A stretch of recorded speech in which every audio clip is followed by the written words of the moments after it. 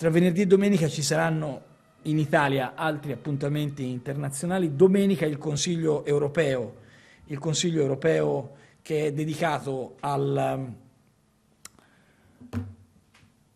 alle questioni immigrazione. Talvolta a Bruxelles diamo sempre l'idea di essere, come dire, un, sull'emergenza precedente.